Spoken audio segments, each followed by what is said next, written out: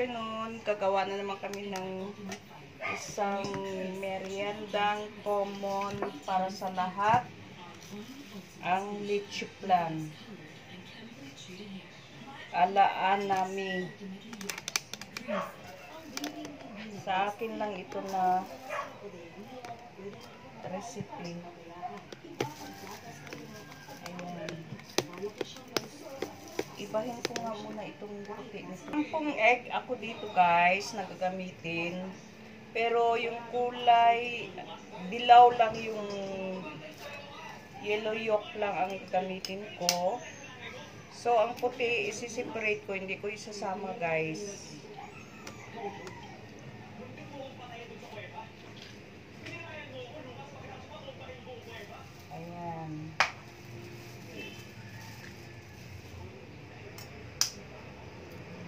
Gagamitin ko ito sa pagkikake ko guys, yung puti. Kasi ito ang dagdag lambot. Pag ginamitan mo ng maraming puti yung sa baking mo, ay mas malambot. Malambot yung cake mo. Ayan. Kahit may konting nasamang puti, i-strainer ko na lang siya mamaya.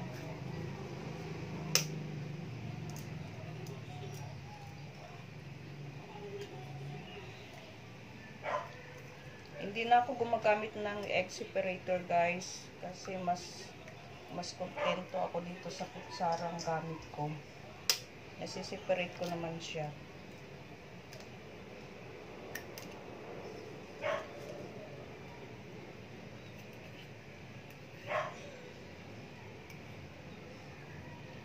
Ayun. Dumiretso nga lang siya.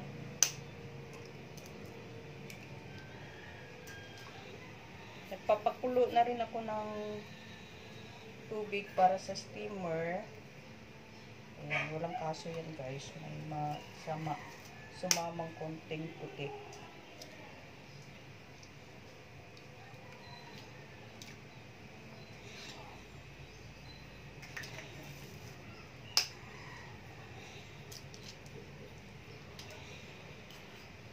Ito din ang best seller ko guys nung nagtitinda pa ako. Ito ang palaging ino-order sa akin.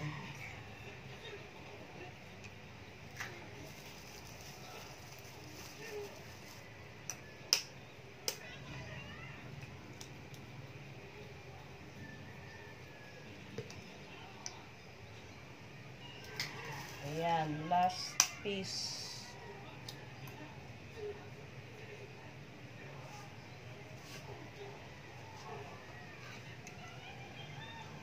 Ayan. Ito, gagamitin ko ito bukas sa pagkiti. Ayan. May dagdag na ako na ano. I-mix ko lang ito. Ibap. May ibap ako dito.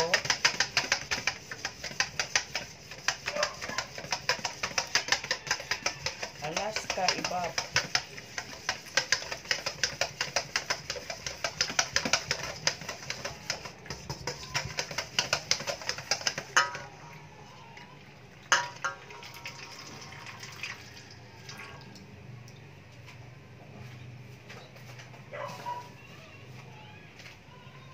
Yan. At dagdagan ko ng isang can ng condensed.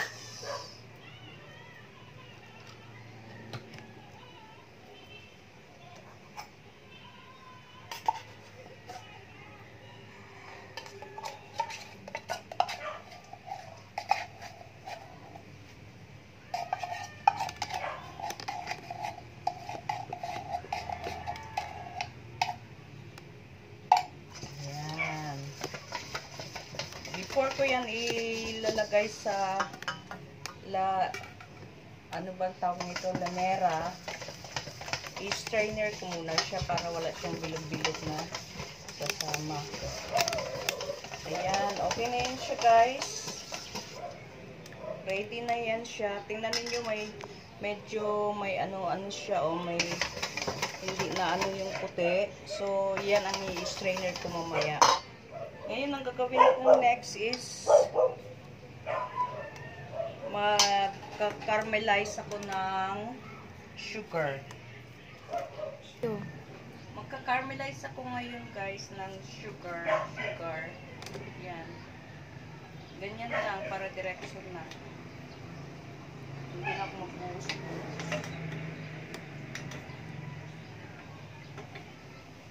Ayan.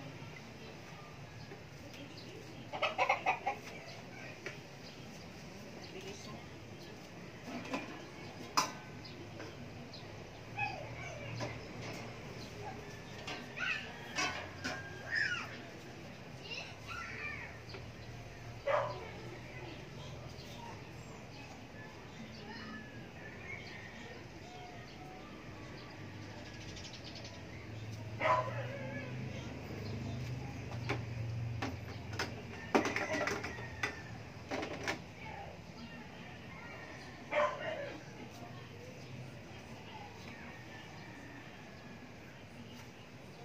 Ayan, caramelized na guys.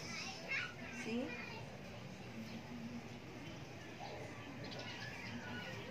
Ayan, ganyan lang kadali guys. Next is second one. Kasi manipis pati lang yung lanera. Ayan.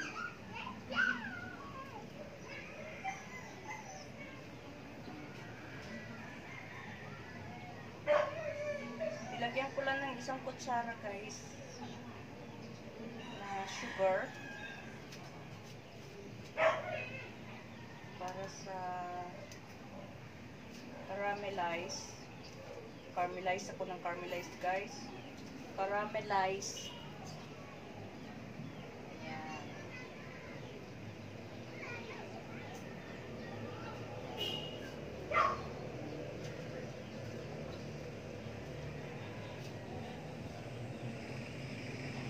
Ang bilis, di ba? Mas mabilis ang ganituin kaysa sisiprate kayo ng container sa pag-caramelize.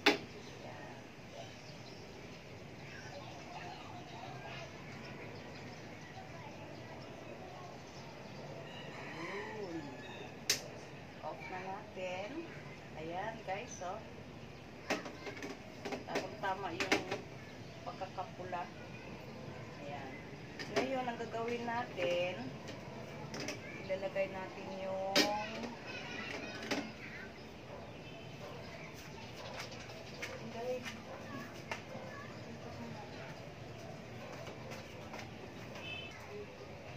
Ayan guys, ilalagay na natin yung may mayroon pang naiwan guys so sayang. O, isang kutsara pa.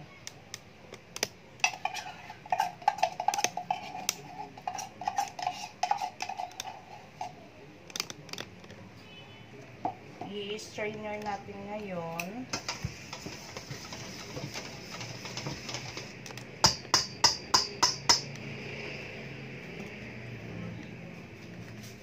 Mag-i-strainer ako. Ganituhin ko na lang guys. Diretsuhin ko na lang. Para walang sumamang bilog-bilog. Yung hindi natunaw. Tulad yung ayan. Siguro mga pwede pa itong isa, one more.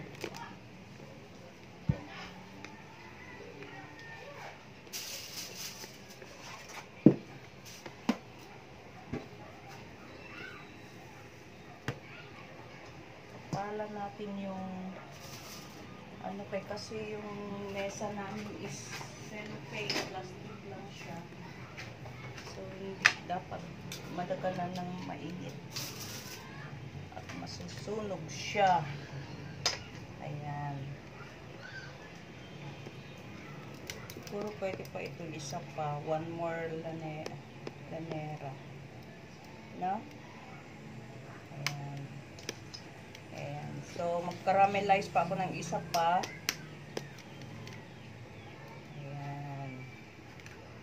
Makakagawa kami ng tatlo. Magka Nag-ano ako ng isang spoon ng sugar.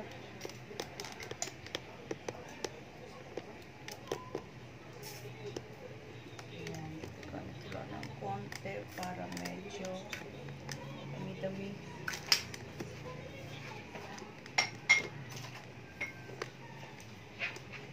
Ayan.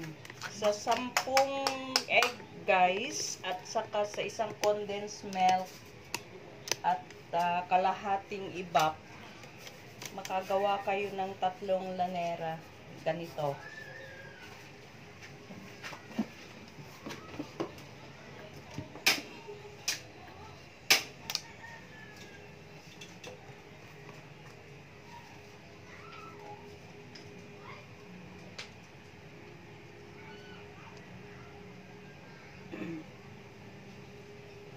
Yan. Ay. Nagumili ko na ang pangatlo guys sa naihanda naming 10 pieces na egg isang condensed milk saka kalahating cup lang yung nagamit namin. Wala na. Saka caramelized na sugar. At ready na pong ilalagay sa steamer. Ganun lang kadali ang paggawa ng leche plan.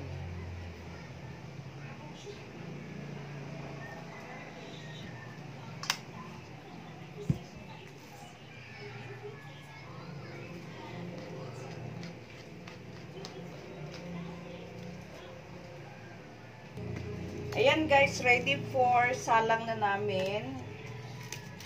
I-steam na namin ngayon. Tatlo yung lanera na gawa namin ngayon.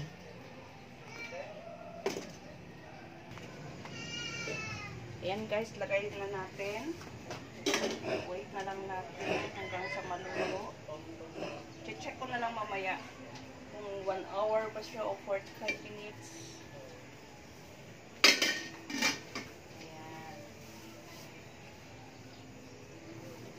So, ipapakita namin mamaya ang finish na leche plan pag naluto na guys.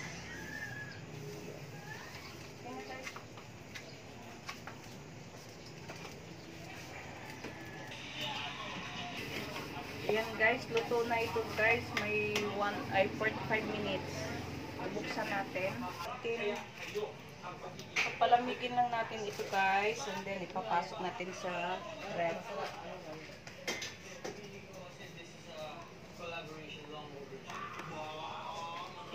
Result ng tat 10 egg, isang condense, saka kalahating ibap. Ayan. Tatlong lanera. Magkano na ito pag binibenta nila? Na, 20. ha? 20. Malaki pa dyan. Anong 20? Leche lang to eh. Kaya, ay, Yung 20 na inaano mo yung mamon sa bakery. Leche lang ito. Yan, palamigin lang namin guys. Bago namin ipapasok ng ref. Thank you for watching again. Ayan. Sundan lang po ninyo, subscribe lang po ninyo yung channel namin. At ah, may makukuha kayo talagang idea kung paano i-prepare yung isang isang menu na gusto ninyong lutuin.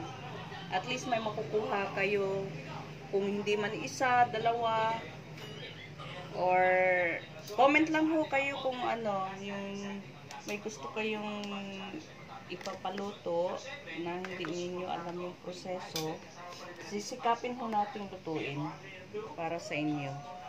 Thank you for watching again. God bless to all. Maraming salamat.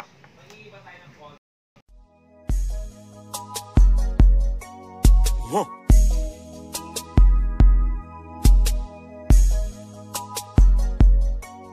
Huh.